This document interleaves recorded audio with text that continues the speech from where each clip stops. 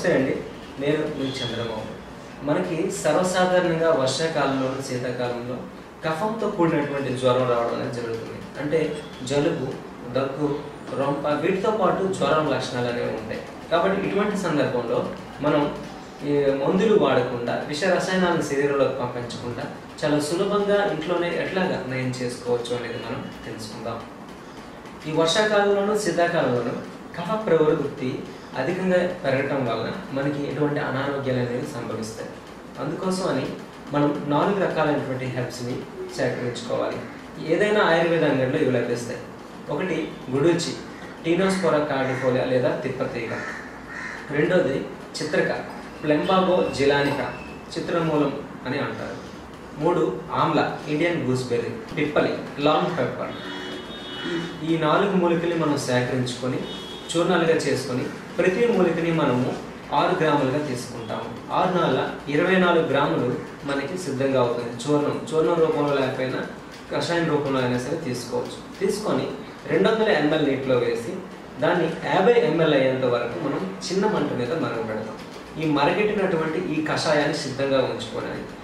భోజనానికి ముందుగా మూడు పూట్లు కూడా తీసుకుంటే కనుక ఈ జ్వరం లక్షణాల నుంచి బయటపడవచ్చు ఆమ్లా అనే దానికి ఇండియన్ గ్యూస్బెర్రీ ఉసిరిక అనే దానికి శరీరాన్ని చల్లబరిచేటటువంటి గుణం ఉంటుంది. టీనస్పోరా కార్డిఫోలియా అనేది యాంటీబయాటిక్ ఏజెంట్గా పనిచేసి శరీరంలో ఉష్ణోగ్రతని క్రమపరుస్తుంది. ప్లెంబోగో జలానిక అనేది మనకి యాంటీ ఇన్ఫ్లమేటరీ ఏజెంట్గా పనిచేస్తుంది. ఈ విధంగా లాంగ్ పెప్పర్ అనేది మన యొక్క ఆమదోషాన్ని తగ్గించడానికి జీర్ణ వ్యవస్థ సక్రమంగా పనిచేయడానికి కూడా పనిచేస్తుంది. ఈ విధంగా ఇవన్నీ కూడా సంయుక్తంగా పనిచేసి మన శరీరంలో జ్వర లక్షణాల నుంచి బయటపడేస్తాయి. ఆయుర్వేదంలో ఈ మూలికల్ని కఫ సంబంధించిన జ్వరాలకు వినియోగించమని చెప్పారు. అంటే వర్షాకాలంలో కానీ శీతాకాలంలో కానీ అయితే ఎట్టి పరిస్థితుల్లో కూడా ఈ కషాయాన్ని పదిహేను గంటలకు మించి నిల్వ ఉంచకూడదు. ఉదయం తయారు చేసుకుంటే సాయంత్రం పదిహేను గంటల లోపు దాన్ని తీసుకోవాలి. ఒకసారి వేడి చేసిన కషాయాన్ని మరలా వేడి చేయడం అనేది ఆయుర్వేదంలో నమస్తే అండి. నేను మీ చంద్రమౌళి.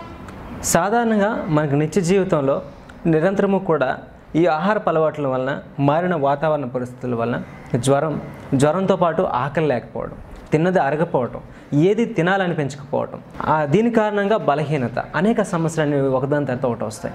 కాబట్టి ఇట్లా ఆకలి లేకపోవటం తిన్నది అరగకపోవటం లాంటి సమస్యలతో జ్వరంతో బాధపడేటప్పుడు ఆయుర్వేదంలో అనేక ఉపశమనాలని హోమ్ రెమెడీస్ని సూచించడం జరిగింది. అందులో ఒక అద్భుతమైన దాన్ని మేము ముందుకు ఈరోజు ఉంచుతున్నాం.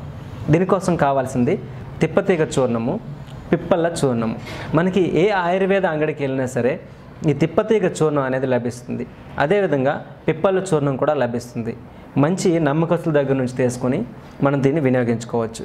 ఇది ఏ విధంగా చేయాలి అంటే మనం ఇరవై ఐదు గ్రాములు తిప్పతీగ చూర్ణాన్ని టీనోస్పోరా కార్డిఫోలియా గుడుచి అని దీన్నే అంటారు.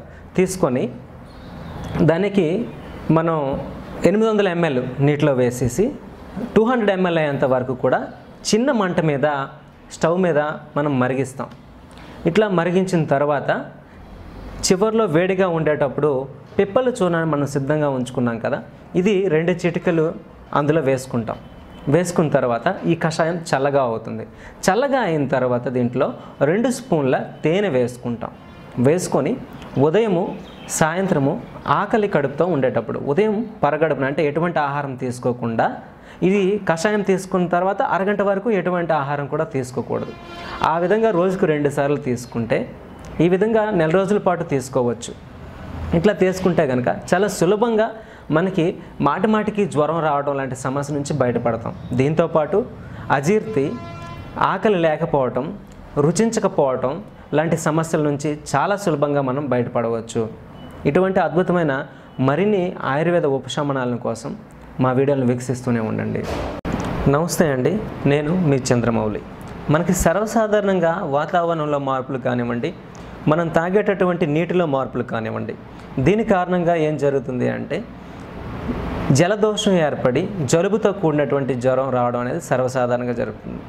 ఆయుర్వేదంలో ఇటువంటి సమస్యల్ని చాలా సులభంగా తగ్గించుకోవడానికి అనేక హోమ్ రెమెడీస్ అనేవి చెప్పడం జరిగింది. అందులో ఒక మంచి రెమెడీని మీ ముందుకి మేము తెస్తున్నాం. దీనికోసం కావాల్సినవి ఒకటి గుడూచి రెండు కరక్కాయ మూడు అల్లం లేదా సొంటి. గుడిచి అంటే తిప్పతీగ టీనోస్పోరా కార్డిఫోలియా అల్లం జింజీబర్ అఫెసినాలిస్ ఇది తాజా అల్లం దొరికిన అల్లం రసం అయినా పర్వాలేదు. లేదు అంటే మార్కెట్లో సొంటి చూర్ణం లభిస్తుంది.